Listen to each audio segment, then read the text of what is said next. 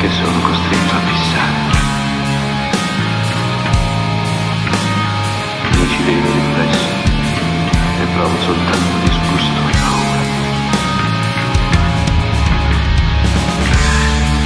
Direi che l'indifferenza verso il prossimo, verso tutti i miei riconoscibili sicuri,